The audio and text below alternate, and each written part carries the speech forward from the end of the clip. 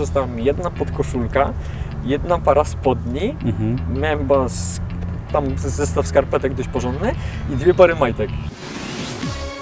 Moim marzeniem było zobaczyć na wadze 69 kg. A co z Pana garderobą? Została Całkowicie. oddana, czy wyrzucona, czy może zjadły pająki? Nie, no pająki nie, nie, nie zjadły. Nie jest to też e, nie do zrobienia, ale trzeba znać na tyle swoje ciało, swój organizm, żeby można było sobie to zafundować.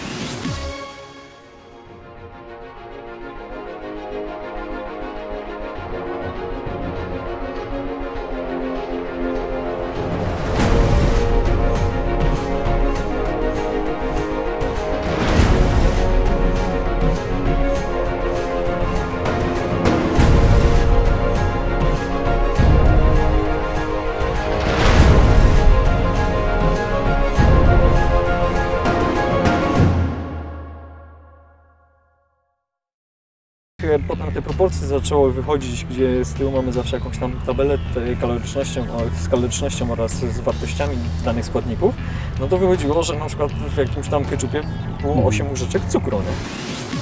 Bo wyobraźcie sobie, że na przykład czasami robimy sobie wycieczki o godzinie 5 rano, potrafimy przejechać 200 km ze sumą przewyższeń prawie 3000 w tempie około 7 godzin. A No, co z jedzeniem?